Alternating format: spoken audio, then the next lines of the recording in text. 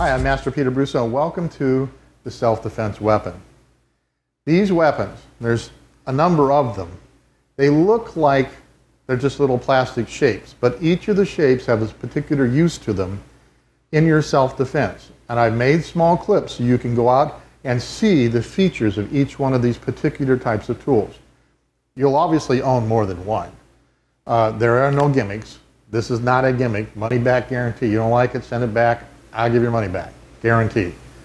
There is nothing to lose and everything to gain by one of these, having one of these tools for your self-defense. They come with a DVD, which let me show you that. One minute. All right, I'm back. Um, comes in a nice little package like this. You open up the package, and of course you have the tool and the DVD. A little close up there of the DVD. DVD has been even touted by those that do education as the best educational uh, teaching tool they had ever seen in their life. That was just the other day, as a matter of fact. And um, it was made the same way I made the United States Marine Corps martial arts discs, that it has stop action, slow motion, highlighting, darkening. I made this disc so that I was on Earth and you were on Mars and I'd never see you. But I had to make sure you were proficient enough to use this. So this is our standard model. This is where you start, typically.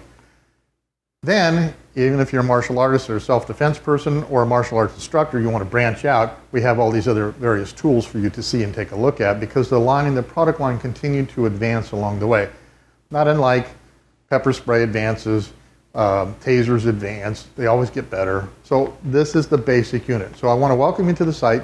Lots of video, please take a look at it. Matter of fact, there's even hours of training video you can look at with this thing. This is a very serious tool.